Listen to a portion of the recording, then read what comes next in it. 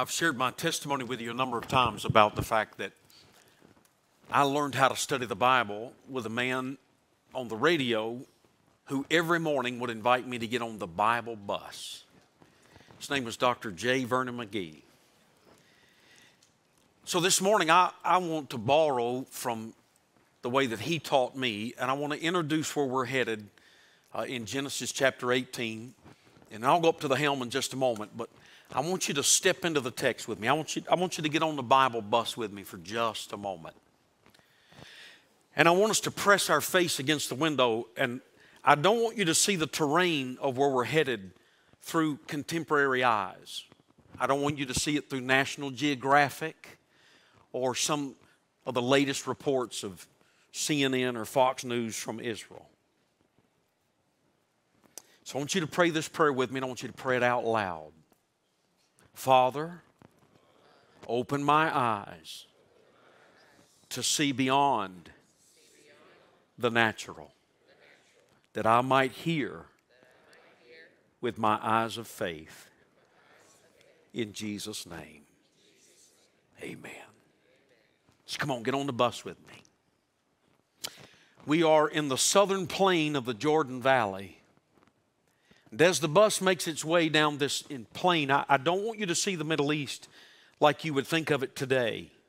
This is, this is before the rebellion of Israel. This is before God had to remove Israel in rebellion and what we call the diaspora. He had to scatter them to the four corners of the earth. The land was filled with promise and power and potential and it, it's not the dry, cracked, barren ground that you now see that's so prevalent in that area. It was rich with thick green grass. You smell the air for just a moment. Just roll the window down, push the window down on the bus, and let the air come in on the Bible bus. Do you smell it? It's, it's, it's a fragrance of honey. It's the promised land.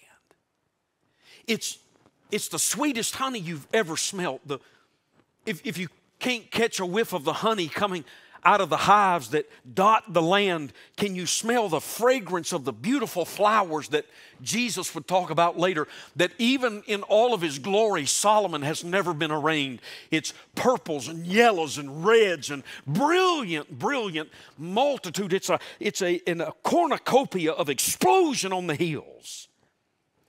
Like little cotton balls. Look out the window, they're beautiful fleeced sheep feeding on the grass. Be, still just a moment as the bus comes to a stop. Come on, get off the bus with me. Put your feet in the cool grass that's thicker than any carpet you've ever been on. Can, can you hear it? It's the rhythm of water bouncing off the rocks from brooks that are coming down through the Jordan Valley and watering this incredible promised land. Just, just over to our right, we spot something. It's, it's a beautiful tent. Now, see, because we read the Bible in Americanized, westernized minds, it's not a Coleman, not a Coleman tent. This is not the one you had a horrible time with when the rain came and it leaked. This is unlike any tent you can imagine. It's a Bedouin tent.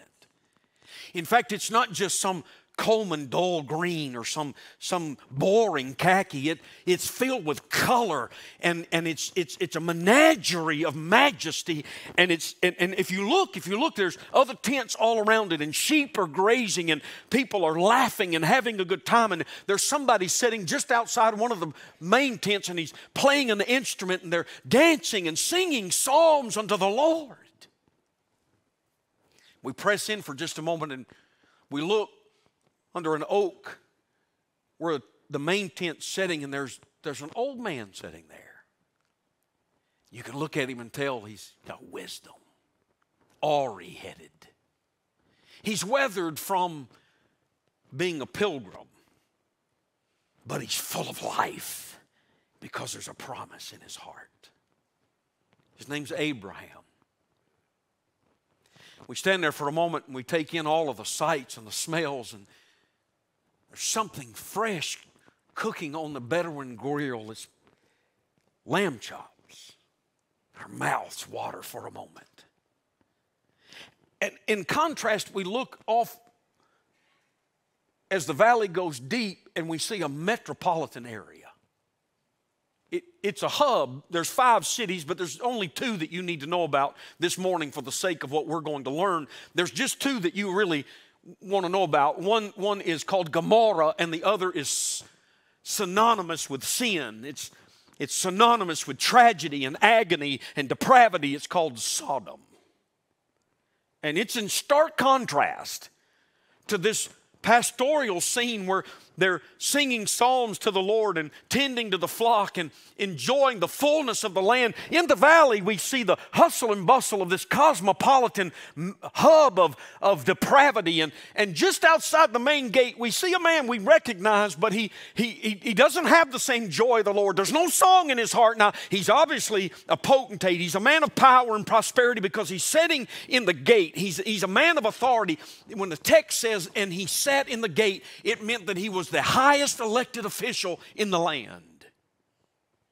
We, we look back up the vale and we see Abraham sitting inside the tent door.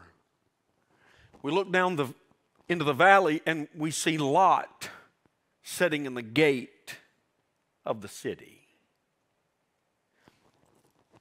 For the last month, we've had an emphasis on missions, both locally, regionally, ultimately globally.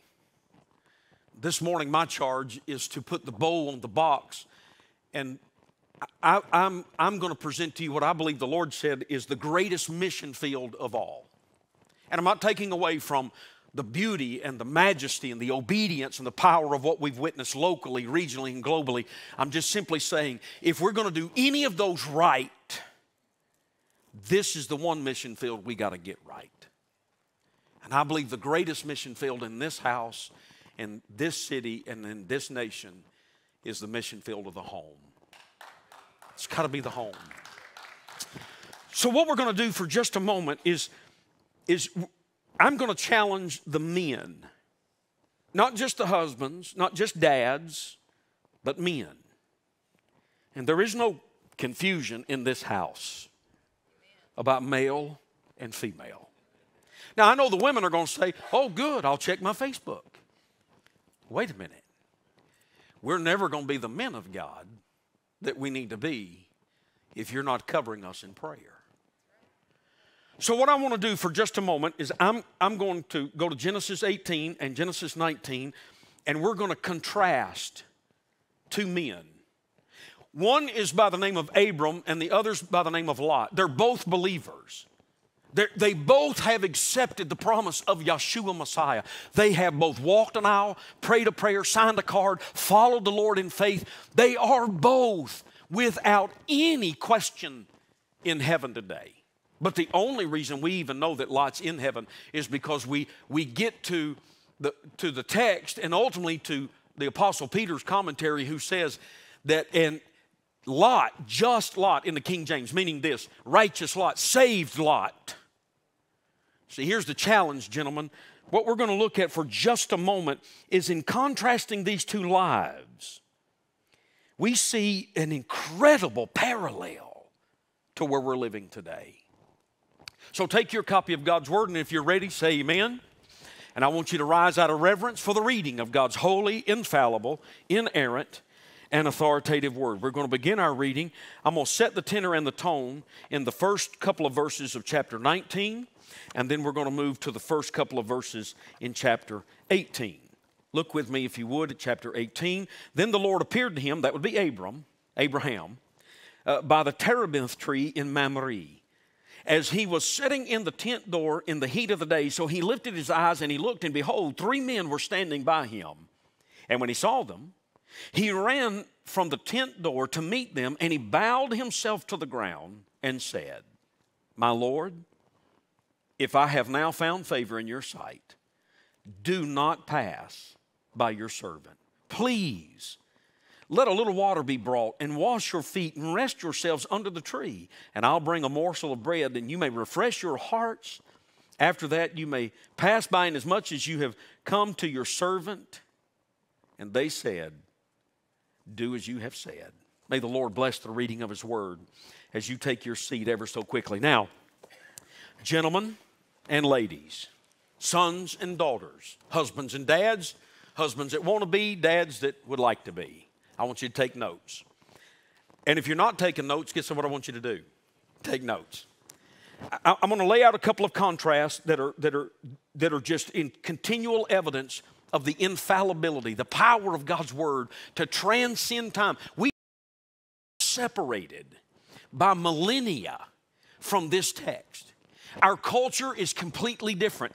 The times are in so many ways completely divorced from what's happening here. Yet, through the power of the Word of God, it's able to step up off the page, set down in our hearts, and instruct us in these last days with some of the most powerful, profitable truths that I believe uh, we're, we're going to hear um, from this particular chapter. Now, here, here's contrast number one. We're going to break it down just like we're studying the Word of God in our private praise and prayer time.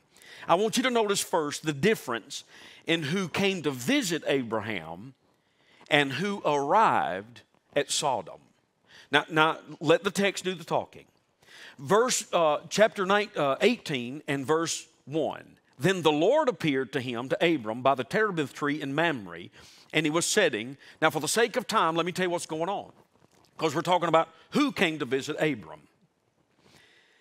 The Lord and two angels come by his tent. When you get to the text in Genesis 19, the Bible says very clearly two angels came to visit Lot. Now, here's, here's the deal there are places in our lives spiritually as pilgrims, which the New Testament calls us, when we're supposed to be in continual motion and movement and mission with the Father. But because we've become carnal or complacent or indifferent to the things of God, We've moved into a place that we were never called to go to. Every one of us have done it. In fact, if I had time this morning, I'd show you, I'd prove to you. Abraham is not an exception, with one exception when he moved to a place he wasn't supposed to, for example, Egypt, famine strikes, and instead of trusting God to open up the windows of heaven and feed his family, he packs them up and moves to Egypt. And when he comes out of Egypt, which is a picture of the world, he comes out with many possessions. And, and it's not the possessions that were the problem, it was that it had turned the heart of his people. Lot, on the other hand, as they come out of Egypt, Lot comes out of Egypt, but Egypt never comes out of Lot. Here's what probably happened. If you'll engage me for a moment with your sanctified imagination, it's justifiable. It's easy for us to do this. There are times when, in our walk with the Lord, He will very intentionally come by to minister in a special way. Now, we've been taught as Americans, as Western Christians, that this is a book of information and perhaps uh, infallible uh, theology, but, it, but God doesn't speak anymore in a, in a personal manner. He doesn't, he doesn't speak to us beyond the logos. There's no rhema word. I'm telling you, beloved, that God sent His Son, the Word of God, in order to speak to us, first by the wooing of His Holy Spirit, that we might become sons and daughters. And what parent would pay the price He paid for us at Calvary and then have nothing else to say to us? outside of an academic document that never comes alive. That's not just a book. And there are times when, when if we're in the right place and we've not become calcified in our carnality. Listen to the reasoning. It's very obvious. I mean, at some point, Lot just said, Listen, I, I, I, I Uncle Abraham, I, have got to tell you, I, I, I've been talking with Mrs. Lot, and and the kids are so busy. The girls are now playing travel soccer and we, we're constantly going down to Sodom. I, eh, you know, first it was the super Walmart, and, and we could stock up, and, and, and, and, but then they put in a Target, and I'm telling you, we're putting miles on that camel like you wouldn't believe. We're just constantly down there, and every time I look up, she's having to load up, and then they put in a TJ Maxx, and I'm just telling you, we are, we are on our second camel this year, and it's just good stewardship for us to move to Sodom. Now, watch the difference. It's not just who visited, there's a difference. The, the, the text is very specific. It, it's, it's how. the Lord comes by to see Abraham, who's living in a tent, which is the picture of an evangelist who's traveling the land to share the promise of Messiah. But only angels come to minister to Lot. Because there are times when our sin is so offensive and so abrasive, and God cannot, He cannot deal with our rebellion because He's holy. There are times when He wants to come by and minister in a way, but He can't. Now, how do you know that? Because I want you to notice not only, not only the, the who came to visit, I want you to notice how they came. You do know there's no accident in the Word of God. Nothing's incidental. God didn't look at the Bible one day and say, Oh, I wonder how that got in there. Everything in this book is there intentionally. And like a diamond, it will step up off that page, and the Holy Spirit will put an illuminating power of His light on it, and it will become a multifaceted truth. Now, now, listen to the text. Listen to the text. Not only who they visited, only the Lord went, only the Lord visited Abram. Two angels visited with Lot. There are times when you have to be careful. In fact, we're admonished be aware that there are seasons. Be careful, Hebrews says, for you entertain angels sometimes. Now, that makes Baptists itch in places they didn't know they had. Now, I don't think there's any candidates in this room, but there are times when angels show up. Do you understand what I'm saying? It's not just the who, it's, it's, it's the how. Now, now listen to it. It's, it's there right in front of us if we have eyes to see it. Verse 3 of chapter 18, listen to Abraham's response when he senses the Lord's in his presence. He says, um, Don't pass by your servant. Now, now listen to Lot because we're contrasting. Chapter 19, verse 2. When, when he discerns that he's in the presence of the supernatural, he says in verse 2, Hey, you guys come on in and, and you rest. I'm going to extend the, the hospitality, but then you can go on your way. Marinate on it a minute, because here's what happens you get in a service like this and the Spirit of God comes by and He stops at the door of your tent. You do know we are tents inhabited by the Holy Ghost of God. This is a tabernacle. There is, there is no need to go to Israel to the Temple Mount, there's no need to go to a building fashioned with hands. We are the tabernacle of God. Inside of us lives the one that hovered over the dark and the depth and, and the nothingness and spoke everything into being. Inside of us is the very one that stood outside that tomb that held the body of our Savior and said to that stone, Roll that thing away and tell him to get up with all power and glory. That same spirit that hovered over the Shekinah, over the, over the glory seat of the, of the Ark of the Covenant, that's the same one that lives inside of me and you. There are times when the Lord will come and manifest Himself in such a way through a word, through a song, through, through something that is supernatural in its capacity, but because we've become so settled in Sodom, this is what we say um, come on in, but then you need to be on your way. Abraham has a total different, total different response. Please don't pass by my tent. I, I am of the opinion that though we are in the most agonizing, unthinkable situation that none of us could have fathomed, that are of the generation that saw this nation in a different situation not many years ago. Do, do you, can I pause and say this to you? Do you realize there are two, two generational divisions in this country now? That you have, you have a generation, which is essentially, um, in some ways, my children, that do not recognize America before 9 11.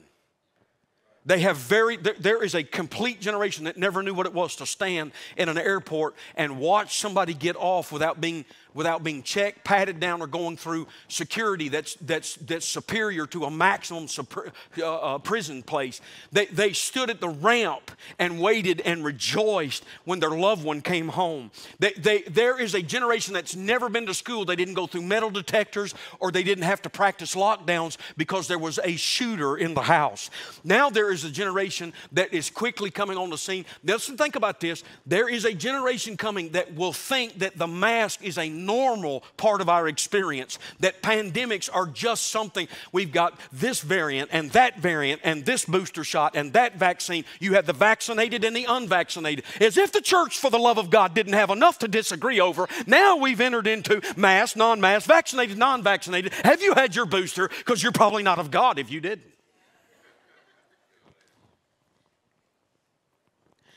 There are times when the Holy Spirit is, is shouting and passing by, and the church has become so so rigorous in her routine and so ritualistic in her programs that when the Spirit comes and, and, and, and walks by, there are times when we say, listen, we're, we're on Standard Baptist time. You, you do what you need to do, but we got to go. You know, one of the joys in heaven is there's no clocks, no calendars. You listen, when you get one of them snot slinging Holy Ghost times like we've had this morning, you stay 10,000 years and not even get hungry. Isn't that going to be something? It's not, it's not, it, listen to me, it's, it's, it's not just that how he came. It's not just who came. Here's the third one. Y'all get anything out of what I'm saying? What's the contrast? Very quickly, what's the contrast? We're almost done. Notice the spiritual significance of when these two men were visited. Again, the text never, there's nothing incidental or accidental. chapter 18, verse 1, it says, And the Lord visited Abraham in the early afternoon. Hmm.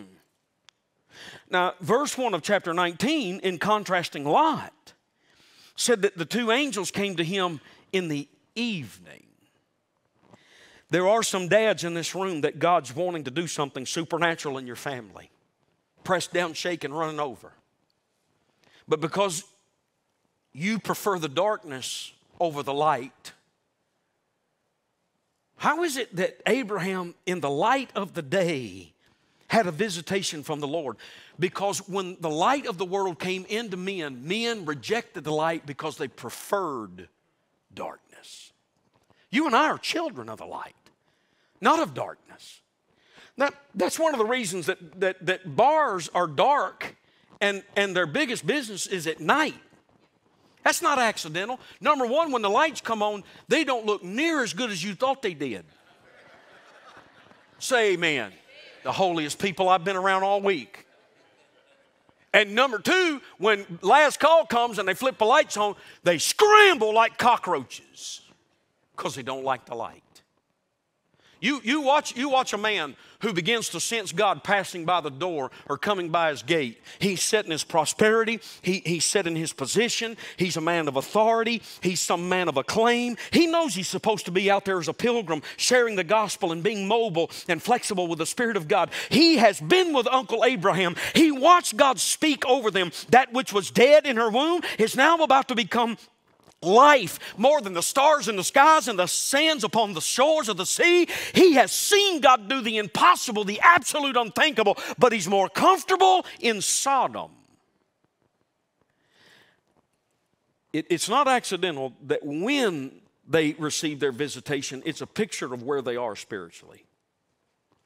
There's times when God has to break.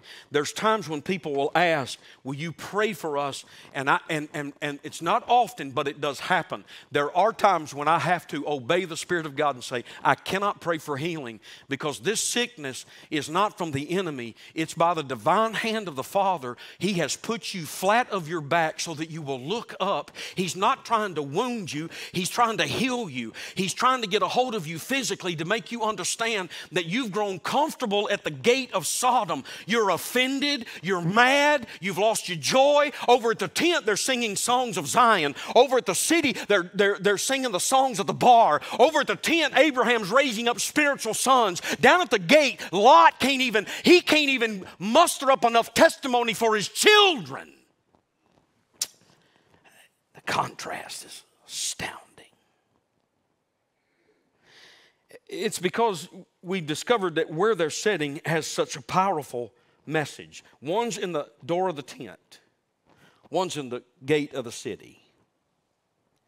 And what's amazing, if we had time, we would discover that Abraham's the most powerful, prosperous, individual in that whole region. In fact, if I could show you from the text, which I'm not going to take time to do, he just single handedly whipped the single greatest five military um, coalitions in that area and rescued Lot from the very people that he's now gone back to. Mom and dad, there are times, listen to me, ma'am, there are times when you need to quit praying that God make the pig pen a comfortable place. And you need to ask God in His mercy to break that He may bless.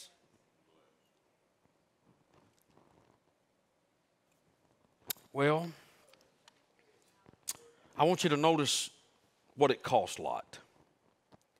If you would, look at chapter 19, verse 12.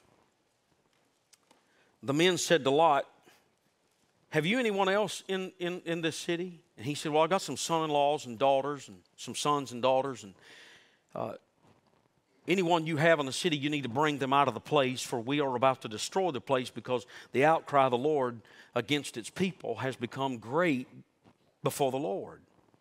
The Lord has sent us to destroy it. Lot went up and said to his son in laws, Who, uh, who were uh, to marry his daughters, get up, get out of this place. I want you to listen to what they say to him. He tells them, The Lord's about to destroy the city. But they, he seemed, Lot seemed to his son in laws to be jesting. He, he had become so comfortable living outside of the power and the presence and the purpose of God's will for his life that when it came time to tell his children, we're at the end, the city's about to be destroyed, he had no credibility left. There are, there are dads that know more about their children's athletic schedule than they do their spiritual state.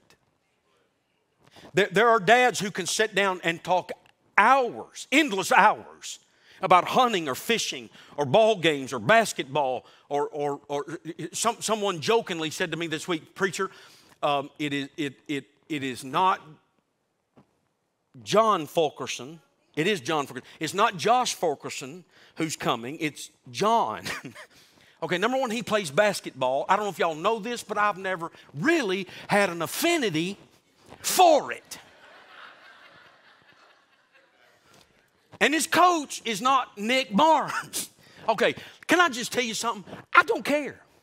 I- I'm bringing Nick, Rick, John, Josh, Joseph, Janie, whoever he is, I'm bringing him for one single solitary purpose because he loves Jesus. And whatever I got to put on the hook to help you understand this, that if you're sitting in the gate of Sodom and your sons and daughters can't even tell that Jesus is on you enough that when you say to them, something's shifting in this nation, something is woefully wrong, and they jest and say, Well, now, wait a minute, Dad, you know, I don't know because you ain't never really talked about Jesus. Other than Sunday when you get the Bible out of the back of the car and greet the preacher like you're Billy Graham. Y'all all right today? I'm in a good mood. We're talking about missions. Y'all with me today? Where, where does this start? Where, where did this, what happened? Because that, that's really the question. I, am going to give this to you very quickly, and, and, and you studied in your own time. Why, why are they following such radical, different paths of lives? Why, why is it that when it comes time to share, the city is going down, we're about to die? Listen, listen to me, listen to me. I, I cannot say this enough to you. There are some of you that are toying with eternity, you're playing with it. You, you, Sunday after Sunday, we sit here in utter amazement at what God's doing in our midst. It is not because that he has to have Fairview. Do you understand that? It is because we're at the bottom of the ninth. We are in the last moments of the last hours of the last days. He is shouting from the balcony of glory, and the church in America is the most anemic, ineffective, sitting at the gate. We're fussing, fighting, offended. We, we, we, we, we, we are completely distracted with the circus of Sodom instead of the power of God. Listen, listen to me. Next, next Sunday, I'm going to invite you to join join Chris and I. I'm not, I'm not going to extort, I'm not going to manipulate. I'm simply going to, ex- I'm going to extend an invitation because this is our conviction. We are fully convinced that we are soon and very soon going home in what's called the rapture of the church. Now, being a part of this church, a member, walking that aisle, praying a prayer, getting in a baptistry or a trough is not going to get you in the rapture. If you are not washed in the blood of the Lamb, I don't care if you're a Catholic or a Mormon, I don't care if you're a Baptist or a Methodist. If you are not a born again child of God who's been washed in the Lamb, uh, in the blood of the Lamb, and your name is not on the Lamb's book of life, you are not going to a place called glory. I don't need to offend you. It is an offense. It's called the gospel.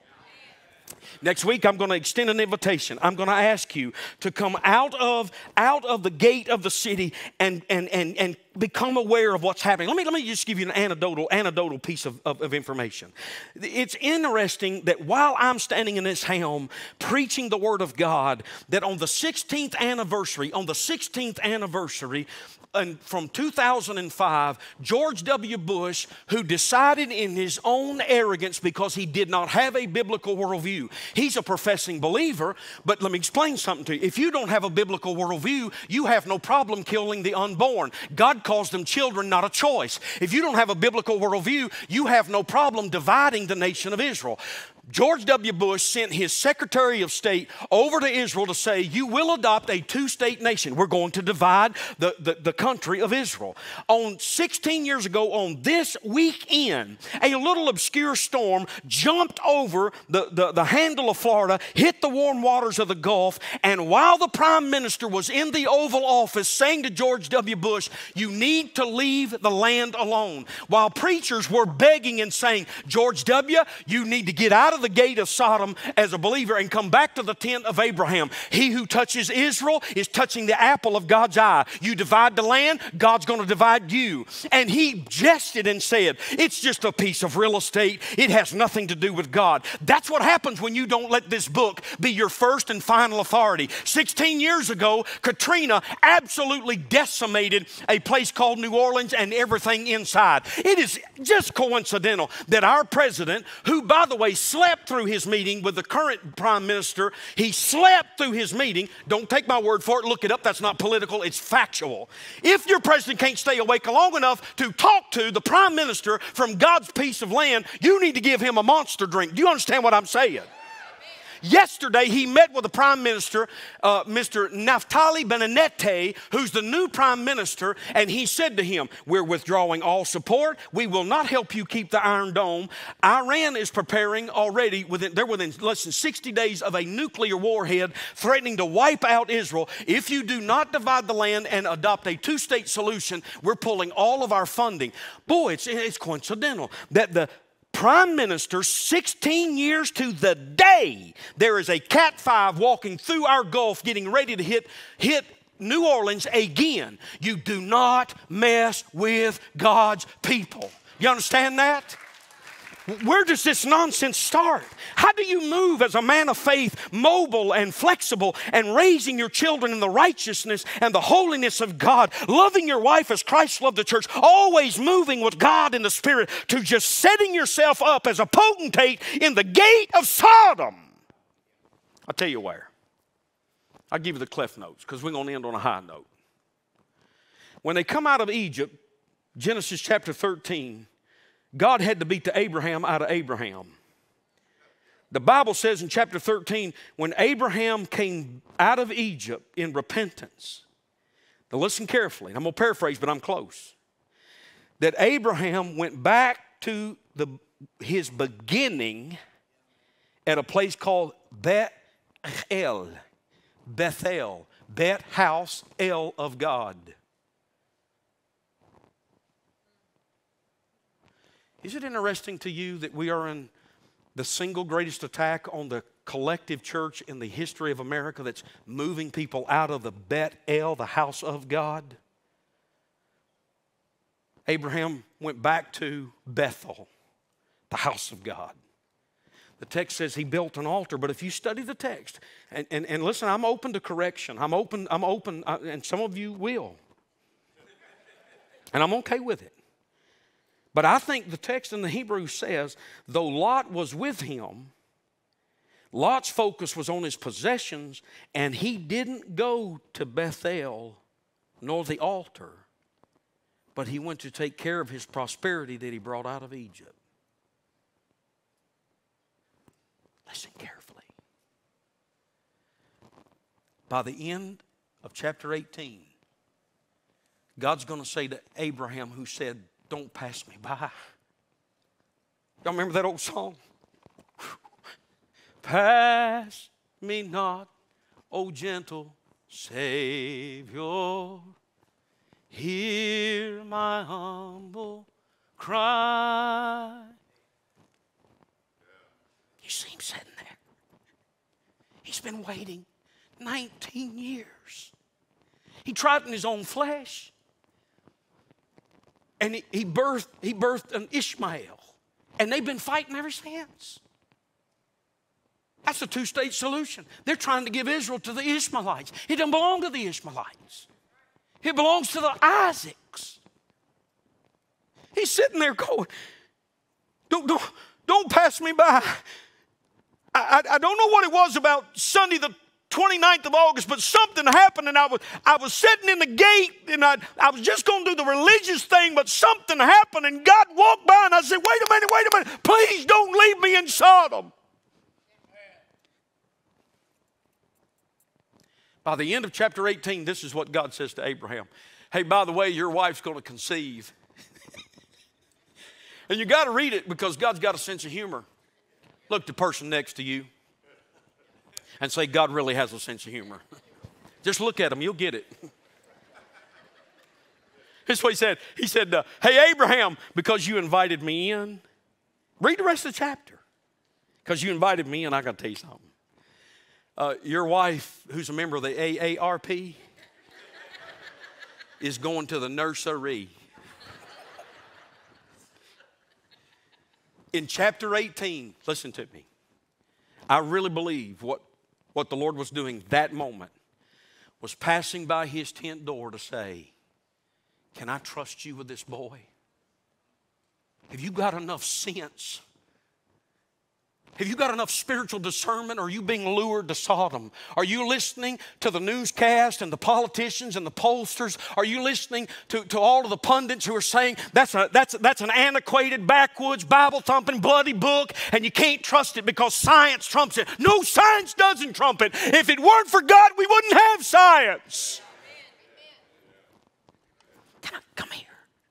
Hey, Abraham, can I trust you?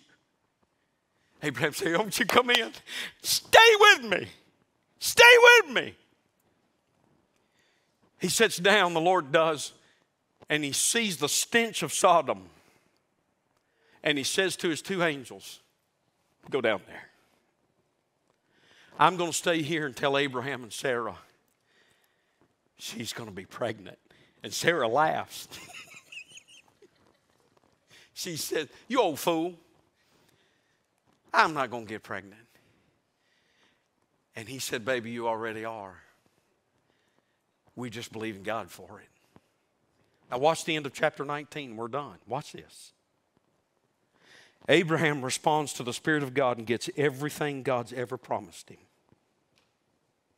Lot keeps his heart in Sodom and loses everything He's God.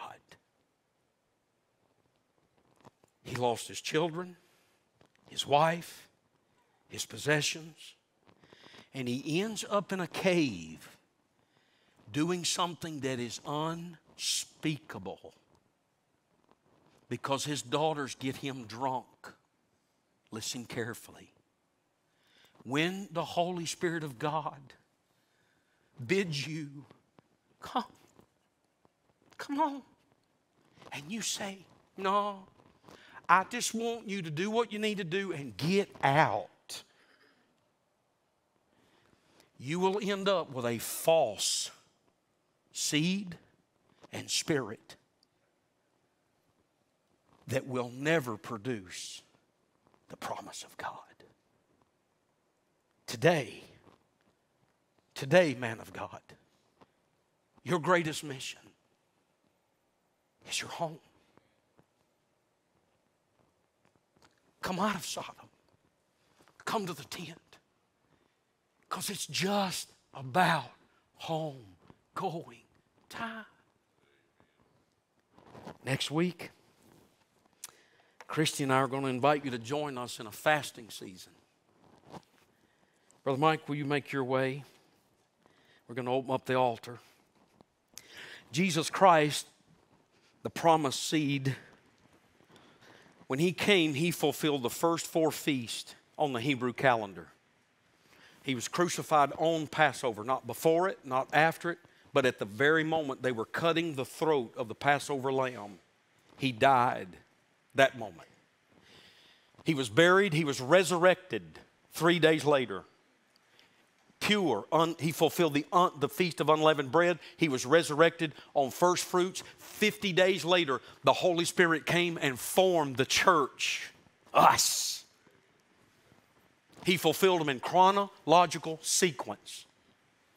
Now, next week, I'm going to show you because there is a breakthrough in the Hebrew world because the Hebrews have moved back to, to Israel in record number and they believe they're on the brink of taking the Temple Mount and they have the temple ready to be erected and they believe that Messiah is coming, not back, but for the first time. Now, in their breakthrough, because we as Westerners didn't understand the fullness of the feast and we Americanized them, we've, we've imposed some things on them. And we've made statements like this. Well, the Bible says no man knoweth the hour, the day or the hour. That's true, but we've completely misrepresented what it said. And if you go out of here and say next week, Brother Jeff's talking, he's going to tell everybody when the rapture is, I'm coming to your house. Now, if I get raptured, you stay at your house. Listen to me.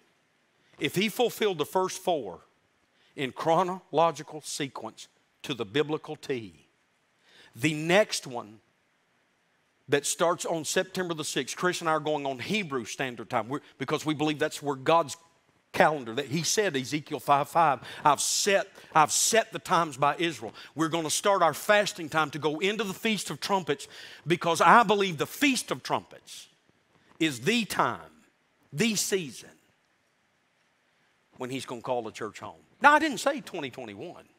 did anybody hear me say that? Did you hear me say that? I didn't say that. But if it happens, y'all come see me up there. I'll be at the throne. But how close are we? So, do you want to be called home from the tent door or the city gate? Do you want God to say, Come on home and you run? Or do you want to say, Boy, I'd like to stay one more day here. Not me. You need to get that settled this morning. In Jesus' name, it's time to get it settled. Would you rise in authority? We're going to pray over this room. There are men in this room that are lost. You're going to hell. You know enough about God to be miserable and in hell. You know enough about religion, but you've never experienced redemption. I'm begging you in Jesus' name I cannot save you, but we can introduce you to the one who can. There's some, there's some guys need to come back to Bethel. You need to, you need to come back to God. You need, you need to come to the altar. Die to yourself and die to Sodom. You know who you are. You know what the Spirit's saying. Father, in Jesus' name, we stand in authority. And I'm simply asking, Father, not for an emotional moment or movement. I'm asking for a, a valid, legitimate moving of your Spirit. Messages like this are not born out of the practice of preaching, they are birthed out of an alarm that says, Get, get ready, bride. Get ready, church. So, God, speak to us as husbands, as dads, as sons, as brothers. Are we sitting at the door of the tent or at the gate of the city? Spirit of the living God, do what only you can. In Jesus' name, amen. Altars are open, pastors are waiting. Please don't grieve the Holy Spirit.